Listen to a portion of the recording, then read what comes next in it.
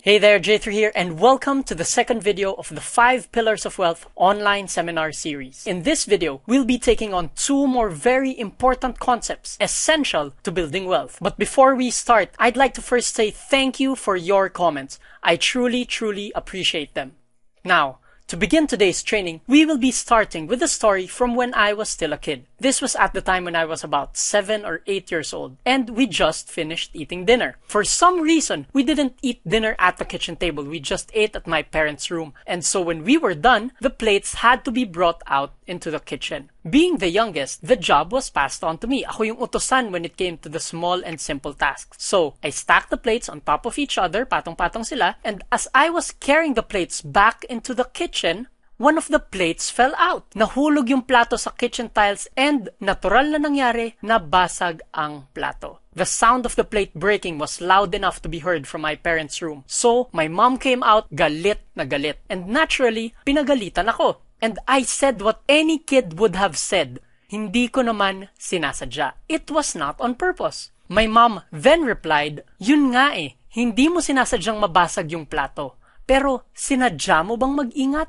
Yes, you didn't do it on purpose, but did you choose to be extra careful? That night, I learned two very important lessons. First was that you can't win any argument with your mother. Wala ka talagang laban. And second was that everything is a choice. Relating the story to our topic of wealth, I didn't choose the plate to fall off and get broken. In the same way, people don't really choose to be poor. But my breaking the plate was a result of not choosing to be careful. In the same way, poverty is also a result of not choosing to be wealthy. This is what pillar number three is all about. Wealth is a choice, while poverty is a result of not making that choice. I'll repeat this in many ways and in different versions so that it will really sink in dahil napaka-importante ng lesson na to.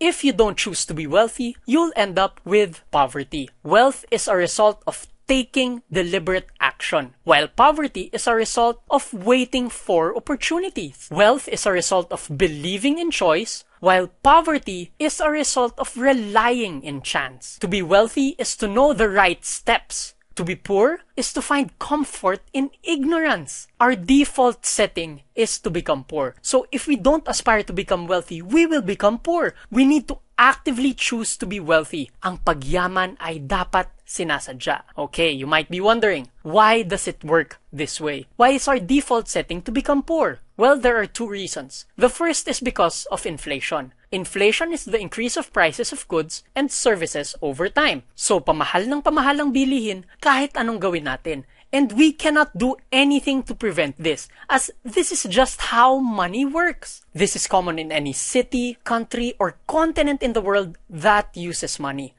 Kahit saan ka magpunta, merong inflation. So, as prices go up, the amount of money we need to survive and enjoy life also goes up. With this, it is very realistic to think of the road to wealth as an uphill battle. It's an uphill climb. You need to exert more effort in going up and becoming rich, and you need less effort to go down and become poor. Now, the answer to inflation is to learn how to invest your money.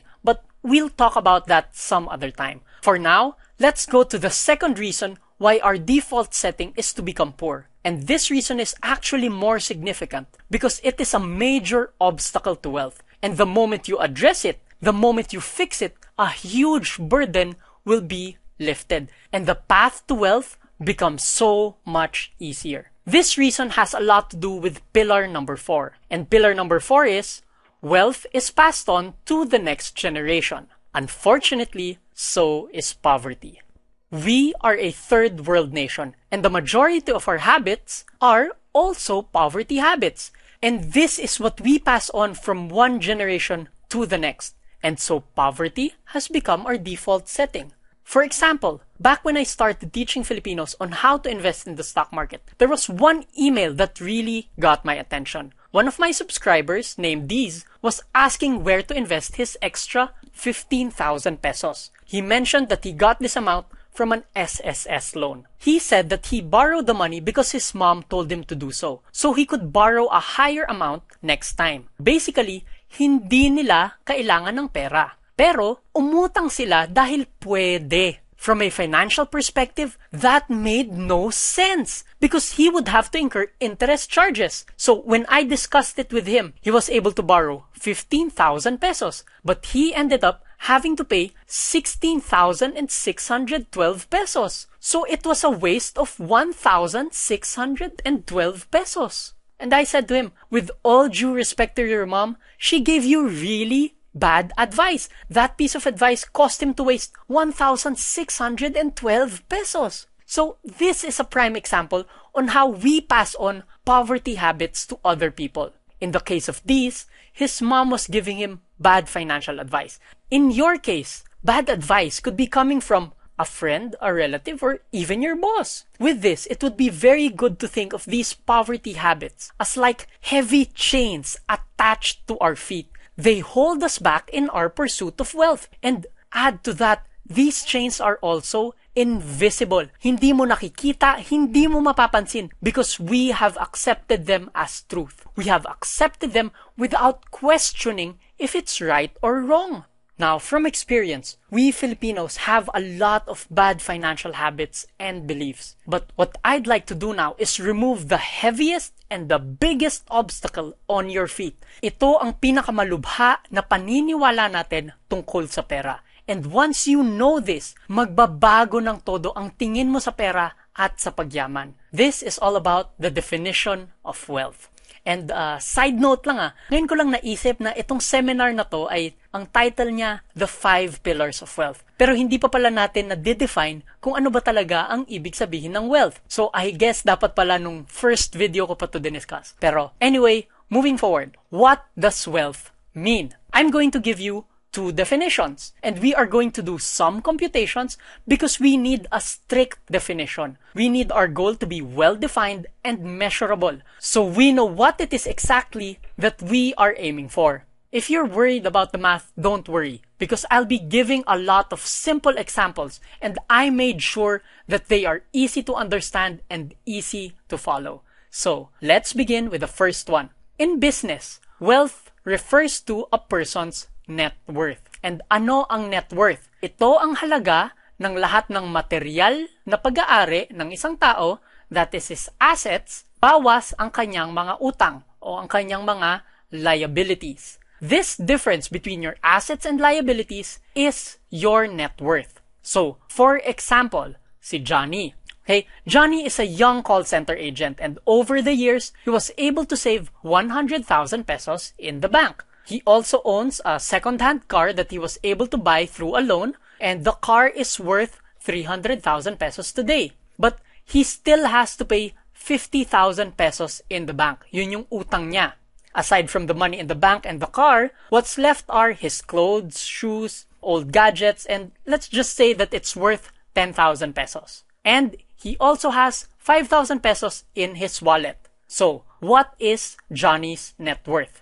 Simple lang ang computation. From the given details, what does Johnny own? So, he has cash in the bank worth 100,000 pesos, plus his car worth 300,000 pesos, plus his clothes and gadgets, which is 10,000 pesos, and then the money in his wallet, which is 5,000 pesos. Then, we subtract his loans, amounting to 50,000 pesos. So, we add all of his assets, yung mga kulay green, and we subtract his liabilities, yung kulay pula. 100,000 plus 300,000 plus 10,000 plus 5,000 minus 50,000 equals 365,000. So, if anyone asks, how wealthy is Johnny? Gaano ba siya talaga kayaman? We can answer, Johnny is worth 365,000 pesos. Okay? So let's continue with our example with Johnny.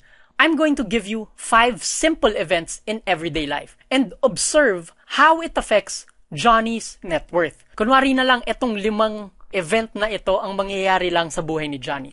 Okay? So, event number one, Johnny decides to watch a movie. He spends 500 pesos for the tickets, drinks, and popcorn. How will this affect Johnny's net worth? Well, the only thing that changed is that instead of having 5,000 pesos in his wallet, magiging 4,500 pesos na lang.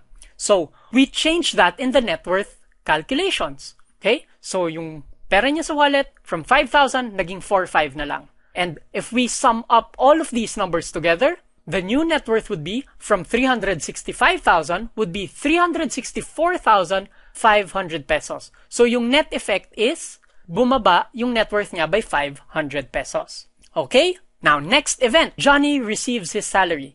Johnny received his salary of 25,000 pesos. So, kunwari, sakto na yan after taxes, after lahat na ng deductions, and the full amount was deposited in his bank account. So, what will change? His bank account from 100,000 pesos will turn into 125,000 pesos. We reflect that in the net worth calculations, and we sum up all of the numbers again. So his net worth from 364,500 pesos will become 389,500 pesos. The net effect is kumita siya ng 25,000 pesos. So, having a job and getting a salary, well, it's definitely making Johnny wealthier. Now we go to event number three. Johnny withdraws 20,000 pesos from the bank. 15,000 pesos goes to rent and groceries and paying the bills. And then 5,000 pesos goes to paying off the car loan. So what happens here? First, his bank account from 125,000 becomes 105,000 pesos na lang dahil nga nag-withdraw siya ng 20,000 pesos. And then, his car loan from 50,000 naging 45,000 na lang dahil nagbayad nga siya ng 5K doon sa car loan. So how does this affect Johnny's net worth? His bank account, we reduce it to 105,000. His car loan, we also reduce it to 45,000 pesos na lang. If we add these all together, his new net worth from 389,500 pesos becomes 374,500 pesos. Yung net effect is that he lost 15,000 pesos. Okay, now take note here. Yung talagang pera na nawala niya is 20,000 pesos. Pero bakit yung effect sa net worth 15,000 pesos lang? Kasi yung 5,000 pesos, pinangbayad niya ng utang. So, take note, ang pagbabayad ng utang actually helps your net worth. It makes you more wealthy. Kaya nga, the first step to becoming wealthy is becoming debt-free. Okay? Anyway, moving forward, let's go to event 4. Johnny decides to check the price of his car. Hindi niya na ginagamit, so he was already thinking of selling it. Ang alam niya, 300,000 pesos yung halaga ng kotse. But upon checking, people were only willing to buy it for 200,000 pesos. So, yung market value ng kotse ay bumaba na pala. Luma na kasi, mataas na yung mileage, at marami na ring sira. So, dahil bumagsak na yung market value ng kotse, his car from 300,000 pesos is just really worth 200,000 pesos. So, we reflect that change into the net worth and we sum up all of the new numbers. Anong mangyayari? His net worth from 374,500 pesos will become 274,500 pesos. So he just lost 100,000 pesos. Okay? So take note here. Dahil bumaba na yung value ng kotse, bumaba na rin yung wealth ni Johnny. So, ang kotse ba ay isang investment? Not really. Because the moment the market value drops, and the moment sakyan mo ang kotse, bagsak na kagad ang market value nun, your net worth also decreases. Okay? Now let's go to event number 5.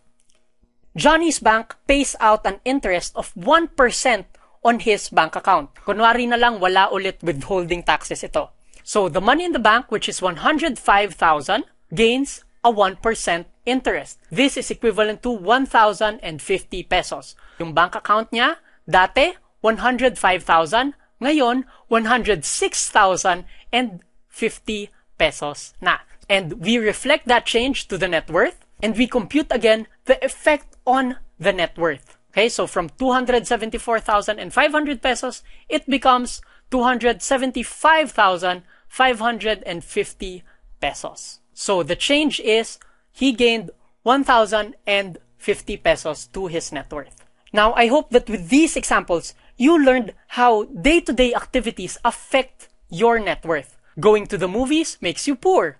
Getting a job and earning a salary makes you rich. Paying rent and doing groceries makes you poor. But syempre, kailangan gastusan ito. Buying a car makes you poorer dahil mabilis bumagsak ang market value. Now, saving in a bank and earning interest, that makes you wealthy. And if you can invest in bonds, real estate, stocks para hindi lang 1% yung kinikita ng pera mo, that will make you even more wealthy. Everything we do with our money can make us wealthier or poorer. It can either increase or decrease our net worth. Using the net worth, malinaw na malinaw kung ano ba talaga ang choice na magpapayaman sa'yo at kung ano ang magpapahirap. Now, net worth is an absolute measure of wealth. You can really tell how wealthy a person is by this number.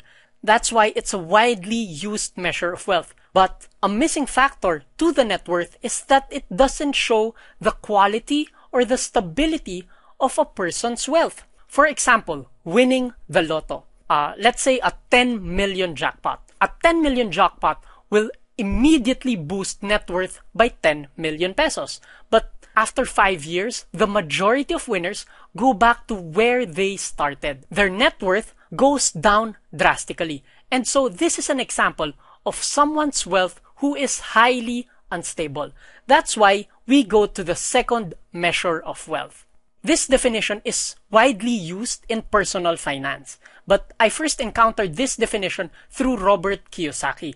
Si Robert Kiyosaki ay isa sa mga kauna-unahang nagtuturo sa masa kung paano ba yumaman. So when he started, he created a lot of controversy because he was calling out a lot of bad practices of the financial institutions. So think of him as a whistleblower, kumbaga. He exposed a lot of bad financial advice. Throughout the years, his teaching has gained popularity and so it has become widely accepted. So today, his definition of wealthy is also used by many people. Now, there is no specific name for this measure. So in this video, we will just refer to it as wealth stability. And wealth stability is measured by answering the following question. If you suddenly stopped working right now, how long will your money last before you need to work again while maintaining your current lifestyle?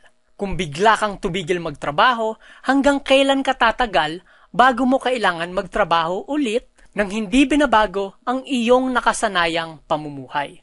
Wealth stability is not measured in pesos or dollars. It is measured in terms of time. So it's measured in days, months, or years. The formula for wealth stability is your total cash plus cash equivalents divided by your monthly expenses minus your passive income. I just introduced several terms here, but don't worry, we will define each one. So first, cash. Cash is simple. Basically, cash, pera, bills, coins, and barya. Okay? Next, cash equivalents. Cash equivalents are instruments quickly convertible into cash. So, these are your bank deposits, mutual funds, stock market investments, and treasury bills. Basta mabilis mong mapalitan into cash, those are cash equivalents. So, as long as mabilis mong ma-withdraw yung pera, those are cash equivalents. Hindi cash equivalents ang kotse o bahay dahil maghahanap ka pa ng buyer noon, mahaba pa yung proseso ng pagbenta, and so on. Okay? Now, next term, monthly expenses. Again, this is simple. Kasama dito yung basic expenses like food, utilities, mortgage payments, etc. It also includes the not so basic expenses like entertainment, travel, pati yung binibigay mo sa charity, those are monthly expenses. Ang hindi kasama dito ay savings and investments. Next, we have passive income. Passive income is money you can earn without having to be there. Kahit wala ka, kahit tulog ka, kahit nagbabakasyon ka, if money still flows to you, that is passive income. Okay? So your salary is not passive income dahil kung di ka magtrabaho, hindi ka rin sisweldohan. However, interest from bonds and dividends from the stock market is also passive income dahil basta shareholder ka o bondholder ka, kumikita ka ng pera. Selling houses and earning a commission is not passive income dahil kapag wala kang benta, wala ka rin kita. However, renting out houses and collecting rent is passive income dahil kahit nasan ka man, basta may tenant ka at nandun siya sa property mo, pwede mo siyang singilin ng rent. Okay? So now that we have defined the terms, let us go into three examples for computing wealth stability. This time, let's use the example of Boyet. Okay, si Boyet ay may pera sa bangko amounting to 150,000 pesos. At buwan-buwan, siya ay gumagastos ng mga 20,000 pesos. Wala na siyang ibang cash at wala na rin siyang ibang pinagkakakitaan. This is all the information we need. Now, kung biglang tumigil magtrabaho si Boyet, ilang buwan siya tatagal bago maubos ang lahat ng pera niya. The computations are simple. So, 150,000, that is his cash and cash equivalents. Then, his monthly expenses is 20,000 pesos. Okay? Then he has no passive income, which brings us to 150,000 pesos divided by 20,000 pesos equals 7.5. So, Boyet's wealth will last him for 7.5 months. Yun ang kanyang wealth stability. Okay? Simple lang, di ba? Next example, let's go to Kathy. Kathy is already an executive of a large corporation. She earns 150,000 pesos every single month. Big time na siya. But Kathy doesn't know how to save money. Lahat ng pera niya, mabilis niyang nagagastos. Aircon lagi sa bahay, marami siyang kotse dahil hilig niya to. Every month, shopping ng new clothes dahil hindi pwedeng twice suotin ang outfit kasi tsaka yun. At lahat ng bagong restaurant, kakainan niya lahat yon. In other words, she has a very high income, but she spends all of it. Next, let's go to how much Kathy has been able to save. Well, he has half a million in the bank and another 250,000 pesos under the mattress. Matagal niya na itong hindi nadadagdagan and wala rin siyang passive income. So, how wealthy is Kathy? If all of a sudden Kathy stops working, how long will she last? So her monthly expenses is 150,000 pesos. Then you have 500,000 pesos in the bank plus the 250,000 pesos under the mattress. And for passive income, you have zero. So if you add 250,000 plus 500,000, you have 750,000 divided by 150,000, which are her monthly expenses. Kathy will last for five months. So Kathy's wealth will last her only 5 months. Take note, mas stable pa si Boyet kesa kay Kathy. Kahit na ba mas malaki ang kinikita ni Kathy buwan-buwan, Boyet can last up to 7.5 months. Pero si Kathy, 5 months lang. So I hope you're seeing the difference here when it comes to wealth stability. Now let's go to our third example, Andrea. Andrea earns 25,000 pesos a month but only spends 15,000 pesos. Yung excess na 10,000 pesos, she divides for savings and for business. So right now, she has 100,000 pesos in the bank and she has a small shomai stand earns her about 5,000 pesos per month. Yung 5,000 na yan, after na yan ang pasweldo, tsaka yung mga pagbili ng gamit, bayad ng renta, and so on. With this, how wealthy is Andrea? Here's the computation. So, her monthly expenses, 15,000 pesos. Then, her cash and cash equivalents, 100,000 pesos. And then, passive income is 5,000 pesos. Take note, it's monthly expenses minus the passive income. Sum these up, it's 100,000 pesos divided by 10,000 pesos. And so Andrea can last for 10 long months. Andrea's wealth will last her 10 months. In this example, we see the benefit of having passive income. Kasi kahit tumigil ka magtrabaho, may pera pa rin na pumapasok sa'yo. Okay, so your wealth can last longer. With these three examples, again, it is very clear what increases your stability and what doesn't. Anything that increases your savings makes you more stable. Anything that increases your expenses makes you less stable. And anything that makes you earn passive income, again, makes you more stable. Now, just in case you're wondering, what happens if your passive income already exceeds your monthly expenses? Well, that means kahit hindi ka na magtrabaho, pwede kang mabuhay with your current lifestyle. Okay? You don't need to work actively anymore. And that is called financial freedom. If you can generate enough passive income to sustain your lifestyle, then you are free from money you are infinitely stable. That is the highest form of stability when it comes to wealth. Okay? So before we move forward, let's review everything so far. Medyo marami na ring numbers, so layo muna tayo sa computations. Wealth can be defined in two ways. First is net worth, and then wealth stability. And increasing these two numbers will make you wealthy. Ang pagtitipid, pagtatrabaho, pagsimula ng business, learning about money, investing. Yun ang mga nagpapataas ng dalawang numbers na yon. And this is what you call being wealthy. And gusto ko lang i-highlight na ibang-iba ang definition ng Pinoy kung ano ba talaga ang mayaman. Tingin kasi natin, pagbago ang cellphone, pag maraming kotse, pag travel left and right, pag branded ang damit, eh, yun yung mayaman. But all those activities lower the net worth and decrease wealth stability. Hindi siya pangpayaman, pangpahirap pa nga eh. And this is what I call feeling wealthy lang. There is a huge difference between being wealthy and feeling wealthy. Sad to say, karamihan sa atin ay gusto feeling wealthy. They aim to feel wealthy, so they never really become wealthy. And so I ask you one thing. Do you want to feel wealthy or do you want to be wealthy? The choice is yours.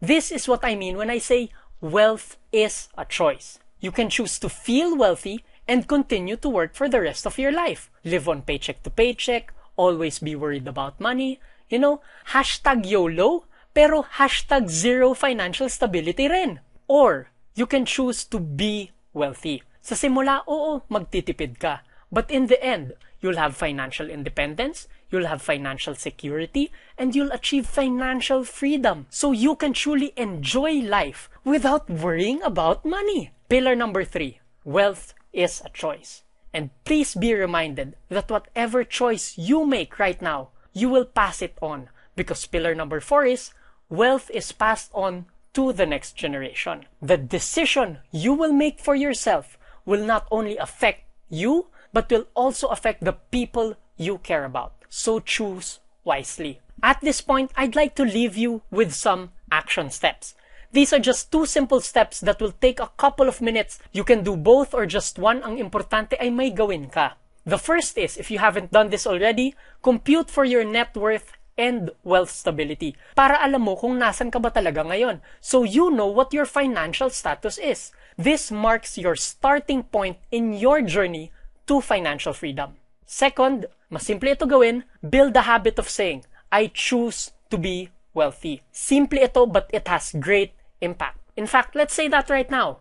I choose to be wealthy. When you wake up, say I choose to be wealthy. Whenever you get your wallet, say I choose to be wealthy. Whenever you step into your office, say I choose to be wealthy. When you get home from work, say I choose to be wealthy. When you're angry or happy, say I choose to be wealthy. Doing this gives you a constant reminder that you are in fact choosing to be wealthy and it will affect the decisions you make on a day-to-day basis. You will be amazed at the changes that will start happening in your life when you build this habit.